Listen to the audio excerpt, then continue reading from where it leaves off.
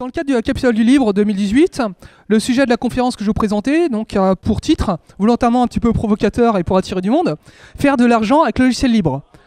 Donc, à propos de moi, pour celles et ceux qui ne me connaissent pas, donc euh, je suis avant tout Genma, donc c'est mon nom fait sur les internets depuis une vingtaine d'années. Je suis auteur d'un blog, je fais des conférences, j'en ai fait plus d'une centaine. Euh, j'en fais euh, depuis quelques années régulièrement au Capitole du Libre. Je suis membre de différentes communautés du logiciel libre. Je suis actuellement en fait sur le stand de Mozilla, mais je gravite aussi au sein de Framasoft, la communauté Windows, etc. J'ai un blog où je parle d'un peu tout ça. Et euh, à côté, à titre personnel, en fait, euh, je suis donc dans le monde civil.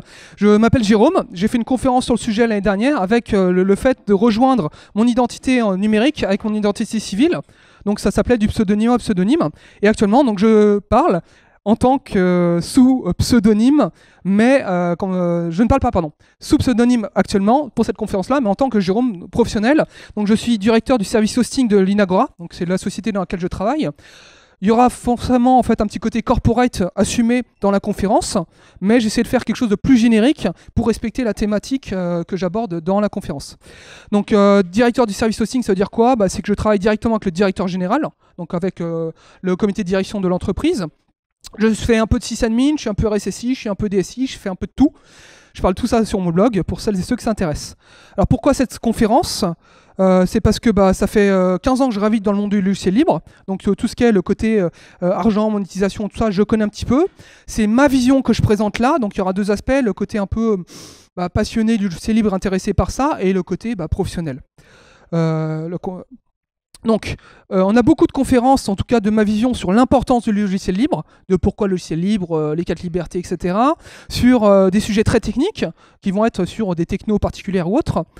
Euh, sur le fait de se politiser, ce qui est une chose très bien en fait. Là, c'est le politique au sens noble du terme. C'est pas le politique faire de la politique pour être président, c'est faire de la politique pour euh, changer le monde, comme fait Framasoft, les copains de la Quadrature et, d'autres. Donc, euh, et ça sort de l'aspect purement technique, mais il n'y a pas forcément de, de conférence sur comment ça marche financièrement. dans ma conférence, donc, je voulais apporter un autre sujet, un autre prisme. alors, dans les limitations, il n'y aura pas d'aspect économique, il n'y aura pas de chiffres, il n'y aura pas de tableau, c'est pas, je suis pas économiste, c'est juste, il n'y a pas de, comment dire, euh, euh, ça va pas dans le détail, c'est vraiment en fait plus euh, susciter un mini débat, c'est un partage d'expérience personnelle et une, vision pour vous donner des, éléments sur lesquels réfléchir. Alors, logiciel libre versus open source. pour faire très simple, j'ai une définition que j'aime beaucoup que fait PIC de Framasoft. Bah, le logiciel libre, c'est les quatre libertés avec la licence GNU et autres licences qui sont compatibles, etc. L'open source, c'est le logiciel libre auquel on retire l'éthique. Euh, donc l'open source, c'est un aspect beaucoup plus technique, c'est ma vision en tout cas. C'est on ouvre les sources par intérêt, mais pas par idéalisme. Donc vraiment, c'est j'ouvre le code, je vous le montre, vous pouvez regarder, éventuellement vous pouvez le modifier. Si vous contribuez, tant mieux. Et puis bah, peut-être que je vais pouvoir bénéficier de, du temps homme que vous avez passé euh, sur ce code-là. Euh, ça me fait de la R&D gratuite. Donc ça, c'est un côté open source. Logiciel libre, bah, on est à capital du libre, hein. on n'est pas au capital de l'open source. C'est un monde idéaliste, c'est changer le monde, c'est apporter des outils utilisables par chacun et chacune pour euh, bah, changer la société. En tout cas, c'est ma vision à moi. Voilà. Donc chez Linagora, euh, pourquoi je l'ai rejoint volontairement, c'est qu'il y avait vraiment cette importance qui était accordée au modèle du logiciel libre et pas du modèle freemium. On reviendra là-dedans.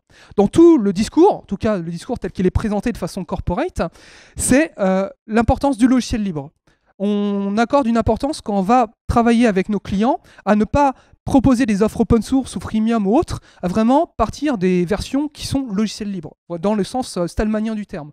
On a une photo euh, dédicacée de Richard Stallman dans les locaux, donc bon, voilà, on, se dit, on fait plutôt du bon logiciel libre. Mais il y a quand même l'importance du droit d'auteur, parce que le logiciel libre ne veut pas dire on peut faire n'importe quoi. Voilà. Alors, euh, comment gagner de l'argent avec le logiciel libre? Donc déjà, pourquoi de l'argent Parce que l'argent, c'est le nerf de la guerre. sans argent, on ne fait pas grand-chose. Moi, j'irais au-delà du côté euh, monétaire. Si je fais euh, le choix d'être sur le stand de Mozilla euh, pendant ce, mon temps libre au, Capitole du Libre, c'est aussi qu'il n'y a pas que l'argent. Il y a le don, en fait, de temps. Et le temps étant de l'argent, comme le dit l'adage, bon, on retombe sur nos pattes. D'accord? Faire des contributions, c'est aussi donner quelque chose. Ma conférence s'oriente quand même plus autour de tout ce qui est monétaire, argent. Donc, la première chose auquel on pense souvent, en fait, dans le cadre du logiciel libre, c'est tout ce qui est mécénat et don. Beaucoup de logiciels libres voient leurs revenus provenir uniquement ou majoritairement du mécénat et des dons.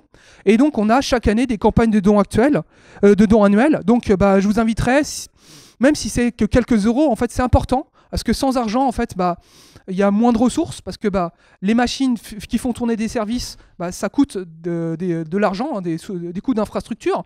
Donc euh, bah, parmi les campagnes que moi j'estime important de soutenir, il y a euh, nos amis de Framasoft, nos amis de la Quadrature du Net, nos amis de nos oignons et tout autre projet libre qui euh, en fait fait des demandes de dons.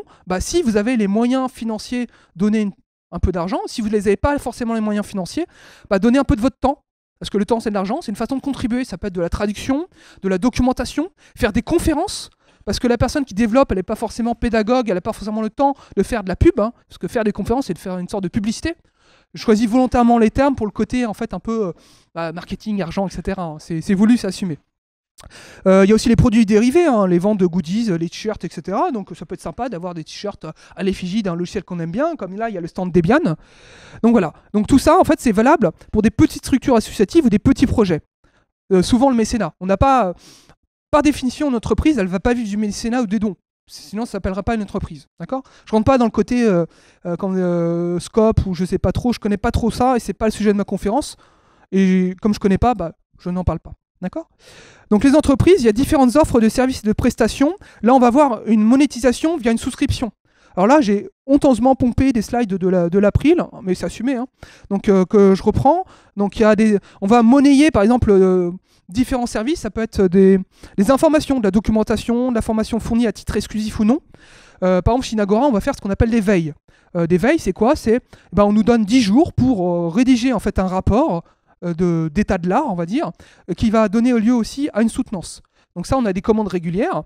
Pourquoi une entreprise ou après euh, quelqu'un va nous demander ça? C'est que bah, on a quelqu'un qui va passer 10 jours à temps complet, donc 10 jours hommes, vous comptez, ça fait à peu près aller 7 heures de travail par jour. Donc bon, vous faites le calcul, ça fait 70 heures de travail de quelqu'un qui a une certaine expertise, qui va faire une synthèse et vous dire voilà, quels sont les logiciels alternatifs disponibles dans le monde du logiciel libre pour ça ou ça? D'accord? Souvent, c'est des grandes des entreprises ou des ministères ou autres qui ont des logiciels propriétaires, qui veulent savoir quels sont les logiciels viables sur lesquels ils vont pouvoir investir. Donc, soit pour remplacer, soit pour en fait euh, proposer une offre complémentaire ou installer une nouvelle offre, d'accord? Et euh, donc, eh ben, ils n'ont pas le temps. Ils ont des personnes très compétentes, mais qui sont euh, surchargées de boulot. Bah, ils n'ont pas le temps. ils préfèrent payer quelqu'un qui va faire ce travail-là. C'est un peu comme l'image que je dis souvent, c'est la différence entre bah, euh, je sais cultiver mes légumes bio et je vais euh, avoir recours à une AMAP qui, où je délègue en fait un prestataire le fait de cultiver les légumes. Euh, soit je fais ma ratatouille, soit je mets les pieds dans un restaurant vegan et c'est la personne qui va cuisiner des légumes de qualité. Et là, bah, je mets les pieds sous la table, j'ai en fait contre de l'argent sonnant et trébuchant, j'ai en fait un, un, service. Et donc souvent autour du logiciel libre, donc comme en fait le code source par définition la recette de cuisine est accessible, n'importe qui peut cuisiner, et ben ça va être l'offre de service qui va faire la différence. Euh, donc monétisation via une offre de support, les clients payent pour obtenir des réponses à des questions, donc euh, ou ça peut être de la correction de bugs, de la substitution à des supports éditeurs. Donc on connaît des grands noms comme Red Hat, euh, MySQL ou IBM, etc., qui vont faire des offres de support qui disent voilà, bah, ou Oracle. On a un logiciel qu'on vend qui est considéré comme professionnel. Euh, si vous avez des bugs ou autres, on vous vend euh, des offres de support avec des niveaux de service en vous disant bah, vous avez, euh, je sais pas moi, tant de temps pour signaler. une fois, dès lors vous avez signalé le bug, on a tant de temps pour vous apporter une solution, soit un correctif, soit un patch, soit une solution de contournement. Donc ça, c'est une sorte de, c'est une façon de monétiser et de gagner de l'argent autour du ciel libre. D'accord? Euh, monétisation autour de prestations, donc on va avoir euh, bah, du développement, euh, ce qu'on appelle de l'intégration. L'intégration, c'est typiquement monter en version de serveur. C'est j'ai un serveur, j'ai pas le temps de le monter en compétence parce que c'est un prestataire qui avait fait ça. Bah, je fais appel à un autre prestataire qui va m'appliquer les, patchs correctifs ou faire des montées en version, qui va apporter son expertise, etc. du développement spécifique qui peut être ou non reversé à la communauté. Voilà. Donc ça, c'est un certain nombre d'offres et de prestations qu'on retrouve en fait aussi bien dans les petites PME, dans euh, dire, euh, les, personnes qui sont freelance ou dans des grosses entreprises. Euh, alors, on n'aime pas parler de SS2I, parce que maintenant, c'est même plus ça, c'est les ESN, donc c'est l'ancien nom SS2I. Moi, je suis un vieux des, de, l'informatique maintenant, ça fait 15 ans que je travaille, donc j'ai commencé dans une SS2I. en fait, on parle de société du logiciel libre. C'est un peu la même chose, c'est juste qu'au lieu d'utiliser du Windows, on utilise du Linux. Mais bon, c'est un peu le, on va dire, dans le même état d'esprit. C'est le but de notre entreprise, c'est de gagner de l'argent pour idéalement payer les salaires et peut-être aussi pour en fait avoir des bénéfices s'il y a des actionnaires ou non. Donc ça, je parle d'une façon générale.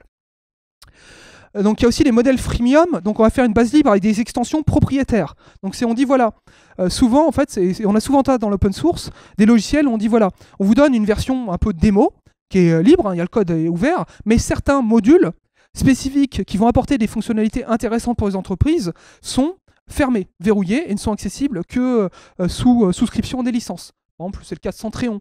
Centréon, on peut l'utiliser, mais il y a certains modules, euh, comme BAM, qui sont des modules propriétaires. Euh, Elasticsearch fait aussi peut-être euh, des, modules propriétaires. Il y a dans Kibana, il y a des extensions. donc pour ceux qui connaissent ELK, hein, Kibana, il y a des extensions propriétaires aussi. on peut avoir aussi des sortes de verrouillage entre guillemets par rapport en fait à un nombre d'utilisateurs donnés, où on dit au-delà d'un certain nombre d'utilisateurs, c'est soumis à licence. Ou bon, Oracle le fait, hein, mais c'est pas pour, le logiciel libre, mais le faisait pour il y a un nombre de licences par CPU par exemple. Donc ça, c'est ce qu'on retrouve dans le modèle propriétaire appliqué au monde du logiciel libre et l'open source. Euh, ça peut être donc euh, accéder à des fonctionnalités, etc. J'en ai parlé. Ok. Alors comment faire de euh, l'argent? Bah, L'exemple que je connais le mieux moi à l'heure actuelle dans le monde du logiciel libre, c'est l'entreprise dans laquelle je travaille, c'est l'Inagora. Donc le petit moment corporate. Mais bon, c'est pas. Voilà. Donc on a une offre éditeur. On fait OBM, Linshare, Petal, c'est maintenant OpenPass. Donc ça, c'est des logiciels que nous développons nous-mêmes sur des bases de logiciels libres. Euh, le code de ces solutions est ouvert, mais quand même soumis à droit d'auteur, parce que c'est du code qu'on produit. Donc, par exemple, quand on travaille en tant qu'employé Ninagora, tout ce qu'on fait dans le cadre de nos contributions est fait au nom de Ninagora. D'accord? Ça, c'est important, parce que on est payé par un employeur. Donc, c'est ce temps de travail-là, en fait, étant lié à une rémunération, même si on travaille pour du logiciel libre, c'est la société en fait qui en, tire, euh, dire, euh, qui, a fait cette contribution-là, on va dire. Euh, s'il y a des questions autres par rapport au logiciel, etc., l'offre qu'on peut proposer, je propose de le faire en conférence pour pas faire trop de. Euh, c'est pas le but, c'est pas le faire la promotion complète de la société. On a une offre d'assurance, l'OSA, l'Open Source Software Assurance.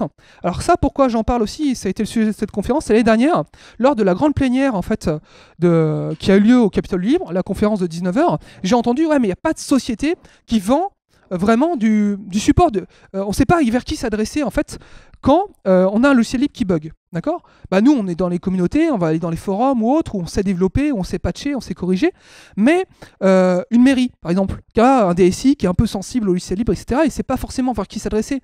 Il va dire, bon, bah, sinon j'appelle les prestataires, mais c'est des éditeurs, etc. Ou, bah, L'Inagora, la réponse qu'on a, c'est d'avoir en fait un, catalogue de logiciels qu'on propose à des grands ministères. On leur dit voilà, on a un certain nombre de catalogues, de logiciels au catalogue, pour lesquels, si vous avez un bug, bah, on va, vous allez donc ouvrir un ticket.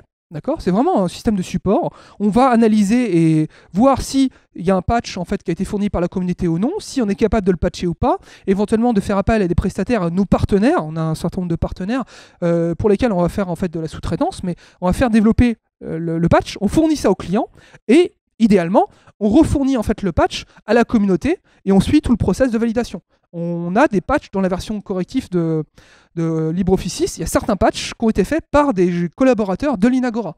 Donc on a ce plaisir de dire voilà, bah, je suis payé pour faire du logiciel libre. Ça, c'est le côté positif. On a une offre de service aussi, on est euh, formation, on est organisme certifié LPI 101.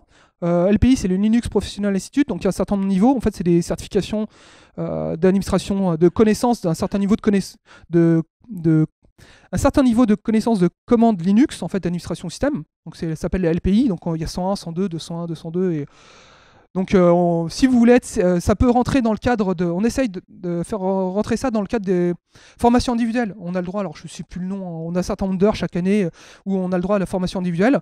vous pouvez demander ce genre de formation. Ou on fait d'autres formations. Moi, j'étais amené, par exemple, à faire des formations sur ELK, par exemple. Donc, j'ai fait une formation sur c'est quoi le logiciel libre pour la poste. Par exemple, la Poste a demandé bah, c'est quoi le logiciel libre, comment ça fonctionne, les communautés, parce que nous, on utilise du Centréon, on utilise un certain nombre de, logiciels dans votre catalogue, mais comment ça marche? Parce que c'est euh, des gens qui, qui, codent dans un garage, vous, vous êtes une entreprise et tout ça. Donc j'ai fait une formation où j'expliquais pendant trois jours un petit peu bah, c'est quoi une communauté, euh, c'est quoi un troll, euh, à quoi s'attendre, et il faut pas être uniquement dans le consumérisme, que bah, euh, vouloir du logiciel libre, c'est aussi s'impliquer. Donc si vous voyez des bugs, faites du report de bugs. Si vous avez la documentation qui est incomplète et qu'en tant que sysadmin, vous avez vu que, bah non, faites des articles de blog, soit dans le cadre professionnel, militez pour qu'il y ait un wiki en interne, mais qui soit ouvert sur l'extérieur pour reverser dans la communauté. Voilà. Donc euh, une offre SaaS, donc une offre de messagerie. On fait des schémas directeurs open source aussi, ça c'est intéressant. C'est le côté en fait euh, euh, si votre entreprise veut passer à l'open source ou au logiciel libre, elle sait pas trop comment faire. Ben on a en fait euh, tout un plan, on va dire, c'est plus pour des DSI. Vous dites au DSI, ah moi je connais une boîte, elle fait des schémas directeurs open source ou des grands comptes, d'accord? Où on va les accompagner. On a des banques qui, bon bah les directeurs, ils disent, ah l'open source, faut miser dessus, et donc on, les accompagne et c'est cool. Moi, je fais du conseil pour ça, donc j'ai plein de casquettes. Hein. Je fais du conseil pour leur dire, voilà, bah, euh, le logiciel alternatif à Oracle, c'est Postgre, mais avec telle limite, etc. Mais n'oubliez et toujours avec ma casquette militant de Genma. Mais n'oubliez pas, utiliser Postgre, c'est pas uniquement je prends Postgre parce que c'est gratuit. C'est euh, je vais enrichir, je vais peut-être mettre des développeurs qui vont euh, travailler là-dessus, qui vont faire des patchs, ou justement vous avez un ici qui a plusieurs milliers de serveurs, bah, vous avez peut-être rencontré des cas particuliers en termes de cluster ou autre. N'hésitez pas à reverser ça dans la communauté ou à faire comme euh, la gendarmerie l'a fait fut un temps, faire des conférences pour témoigner sur votre usage du logiciel libre. Donc du conseil juridique aussi. Donc on a le CIJOS, c'est le centre, donc c'est un centre juridique qui permet de conseiller sur. Vous êtes une entreprise, vous voulez libérer votre code en, logiciel libre, quelle licence utiliser, à quoi ça vous implique, etc. Donc on a une offre de conseil aussi. Parce que ça peut être bien de, bah ouais, j'aimerais bien libérer mon logiciel que j'ai fait pour ma mairie, mais je sais pas trop comment ça se passe, à quoi je m'expose, est-ce que je vais être obligé de corriger les bugs des gens Non, votre code est ouvert, mais vous n'êtes pas obligé de corriger les bugs des gens. C'est mieux si vous le faites.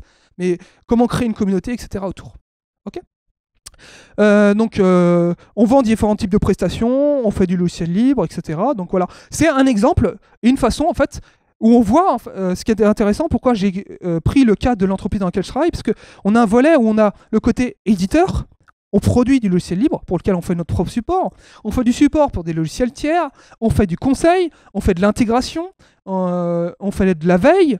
Donc voilà, on a vraiment un panel de métiers assez large.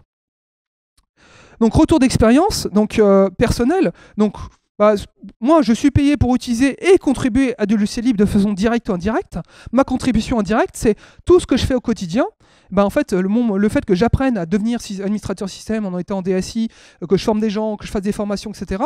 Bah, j'essaye sur mon temps libre et puis même des fois sur mon temps perso, en fait, de sur euh, pardon sur mon temps libre et perso et sur mon temps professionnel de diffuser. En fait, c'est à double, c'est ça va dans les deux sens. C'est-à-dire que j'utilise mes compétences personnelles pour mon métier, mais j'utilise aussi mes compétences de mon métier pour euh, ma personne, ou en transmettant bah, des retours d'expérience sur c'est quoi devenir administrateur système, etc. Et je fais la promotion du logiciel libre en interne, parce qu'il y a un côté cool. Quand on voit en fait un, grand compte ou euh, quelqu'un qui euh, travaille avec Mounir Majoubi qui vient, première réaction que j'ai fait, ça a été Ah, vous avez un stickers de Framasoft, bah, c'est les copains, etc. Alors là, il y a le PDG qui commence à faire un petit peu la tête parce qu'il se dit mince, il est en train de faire la propagande pour son truc. Euh, et on est quand même dans, le monde professionnel. Après, bon, j'ai réorienté avec une institution plus corporate, professionnelle, etc. Mais j'ai commencé par le côté militant. Et c'est déjà arrivé que ce soit l'inverse, où je suis avec euh, en fait euh, le directeur, le directeur qui dit bon bah Jérôme, qu'est-ce que tu fais Bon bah voilà, je suis le DSI. Non non, mais le week-end et tout, tu vas au Capitole du Libre, tu fais des trucs là, hygiène numérique et tout. Explique ça à Madame la ministre. Ok, bon. Voilà, donc c'est un côté marrant. Euh, donc mon métier, en fait, j'ai cette chance-là qu'il est plus qu'un métier alimentaire pour pouvoir faire du logiciel libre à côté. Donc je peux dire que je vis du logiciel libre. Mais je suis peut-être une des rares personnes qui en vit. Et après, comme je le dis, en fait, c'est je travaille dans une entreprise. Je travaille pas chez Framasoft, qui est une association. Je travaille pas, euh, comment dire, je suis pas salarié d'une plus petite structure. Donc euh, il y a aussi le côté, bah, j'ai des comptes à rendre, j'ai, il y a un côté, très, je suis manager, j'ai des objectifs. Donc en fait, c'est aussi un choix de savoir, vouloir vivre du logiciel libre, c'est jusqu'où je suis prêt à aller. Ou est-ce que je suis freelance et puis bah genre il y a des hauts, des bas, etc. Voilà, il y a différents aspects. Ok? Et donc ce que j'ai dit, personnellement, tout ce que j'ai appris, etc., je le dispatch. Euh, voilà. Et euh, tout ce que je redispatche en termes de temps tout ça, on retombe à ce que je disais, bah, ce temps-là que j'investis euh, pour vous, en fait, parce que je donne à, la communauté, au bien commun, bah, c'est comme si je donnais de l'argent quelque part, parce que le temps, c'est de l'argent. Voilà. Conclusion et mot de la fin. Donc, euh, si on reparle un peu de l'Inagora, parce que forcément, hein, c'est le côté. On recrute, donc on a euh, des jobs euh, qui sont ouverts sur Paris, sur Lyon, sur Toulouse. Donc, on a différentes offres. On est en phase d'expansion. on a tout type de profil. Donc, après, bah. le conseil que je vous donnerais, c'est si vous cherchez des stages, on, a aussi des offres pour des stagiaires, on a des offres pour des gens confirmés, il y a un peu de tout. Moi-même, dans mon équipe, je recrute des sysadmins confirmés. Donc, si vous aimez bien mes billets de blog sur, comment dire, le partage d'expérience, comment former des gens, etc., à être sysadmin, et ce côté humain que moi j'ai en tant que manager vis-à-vis de mon équipe, bah, vous êtes les bienvenus. voilà. Et donc, bah, merci de votre attention. Place aux questions. Voilà. Donc, comment ça va se passer pour les questions euh, Je vous écoute et je retranscrirai la question au micro pour l'enregistrement. Voilà. Donc, merci à vous.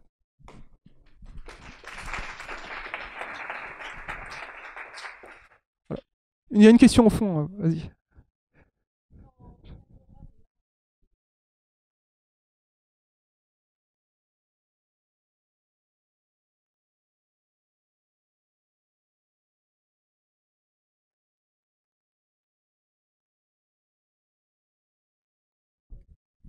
Donc la question du public, c'est est-ce que l'Inagora en fait parle quand ils font fait des démarches de prospects pour des nouveaux clients plutôt open source ou plutôt logiciel libre? La réponse est clairement on parle logiciel libre. Le discours que j'ai entendu et les commerciaux sont formés, c'est vraiment logiciel libre. Dans toutes nos plaquettes, il y a euh, au moins le mot logiciel libre à coller au mot open source s'il est là. Et euh, c'est vraiment ça. Donc après, c'est peut-être pas dans le côté euh, idéaliste, philosophique, on commence pas à expliquer les quatre libertés, mais ça rejoint plutôt le côté militant anti-GAFAM. Le discours qu'on a et que porte, donc là je prends ma casquette corporate, hein, que porte notre PDG, c'est vraiment en fait la lutte contre les GAFAM, nous sommes la solution pour les entreprises contre les GAFAM. C'est moi, personnellement, donc là je me suis mis à titre personnel, je pense que c'est effectivement une des solutions pour les entreprises. Ça permet de mettre le pied dans la porte et dire bon, il y a l'Inagora qui fait ça, ça répond à votre besoin pour votre entreprise. Et à côté, quand je vais former les gens, je vais dire et à titre personnel, n'oubliez pas qu'il y a les copains de Framasoft, etc. Mais ça, je le ferai plutôt à la pause, etc. Ou en mettant un t-shirt euh, qui va bien avec. Euh, voilà, ça c'est. Mais effectivement, euh, c'est ça qui m'a séduit dans cette entreprise, c'est vraiment cet attachement au logiciel libre. C'est, on fait pas de l'open source, on a aucune volonté de faire des modules propriétaires où on dirait bah non, celui-là, c'est soumis à licence. Je pense que ça répond à la question. Voilà. D'autres questions? Non? Bah, merci à vous alors si ça a été très clair. Et puis euh, donc n'hésitez pas à me retrouver euh, sur le stand si vous voulez parler de diverses de choses diverses ou autres. voilà. Parfait, merci.